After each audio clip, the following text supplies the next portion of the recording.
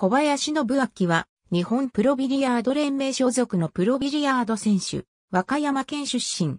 世界スリークッション選手権で12連覇を狙う、ビリヤードの神様レーモンド・クールマンスを破って、世界チャンピオンに輝き、以後、ビリヤードの神様を破った男、世界の小林と呼ばれる、アダムジャパン専属、子息の小林秀明も、同連盟に所属している。自分で作った小さいビリヤードテーブルを使ってビリヤードを始めた。父親がビリヤード場の経営を行っており、そこに来店する客がプレイする様子を見ながら、ボールの挙動に心を奪われ、追求していくことになる。ビリヤードで日本一になり、世界に挑みたかったと望み、1962年に日本プロ選手会へ入会。様々な個性を持つプロたちに揉まれて、自分を伸ばし、自分の道を見つけようと思ったという。その願いが叶い、1971年に全日本スリークッション選手権で優勝。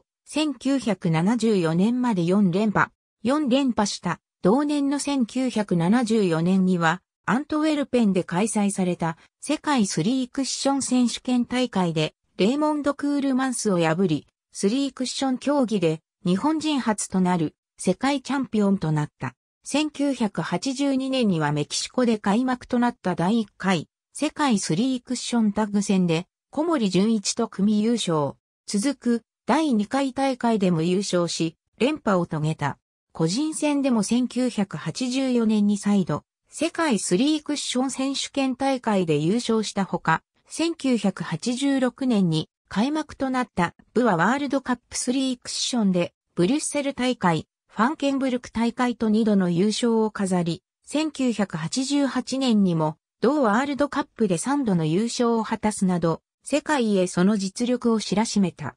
1990年代に入っても、スリークッションジャパンカップ、全日本スリークッション選手権などで連覇するなど、日本のスリークッション界を牽引し続けた。2002年には、富山で開催されたアジア競技大会に出場し、フリーゲームシングルスで銅メダルを獲得した。AB フリッツ・バッカージャパニーズ・ツータイムズ・ワールドチャンピオン。小林パストアウェイ。コズムマルチメディア2019年11月26日時点のオリジナルよりアーカイブ。2019年11月27日閲覧。不法。小林信明選手ご逝去の法。日本プロビリヤード連盟。2019年11月26日時点のオリジナルよりアーカイブ。2019年11月27日閲覧。参考。アダムジャパン。ありがとうございます。